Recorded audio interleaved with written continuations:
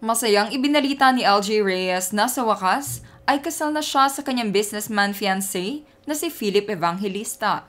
Naging matunog ang kanilang pagsasama dahil sa wakas ay nakahanap na din si LJ ng lalaki na totoong magmamahal sa kanya at paninindigan siya kasama ng kanyang mga anak na sina Summer at Aki. Ito ang full wedding video highlights ng kanyang kasal. Makikita sa video na ito na isang simple but elegant wedding ang siyang napiling gawin nila LJ Reyes at Philip na ginanap sa Bevin House, isang Victorian mansion sa 76 Bevin Road, Asherock, New York, noong linggo October 8.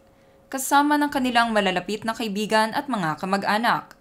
Isang intimate garden wedding ang siyang naganap kahapon at makikitang sobrang saya ni LJ na ngayon ay lalagay na sa tahimik ang kanyang puso.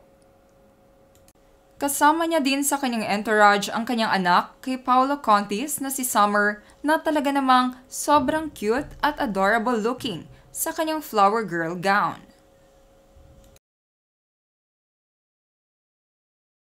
At ang binata ni LJ Reyes na si Aki ang naging kanyang ring bearer, na anak niya naman kay Paula Avellino. Habang nagbibinata ang kanyang anak ay makikitang lalo itong nagiging artistahin katulad ng kanyang mga magulang. Ito naman ang kabuuan ng wedding nila LJ at Philip Evangelista. I, LJ, Lorna Jane, Lauren Jane.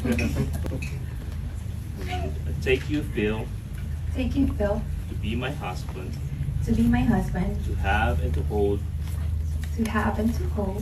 This day forward this day forward. for better and giving the, and receiving of rings.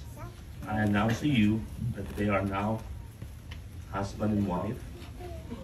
In the name of the Father, of the Son, and the Spirit.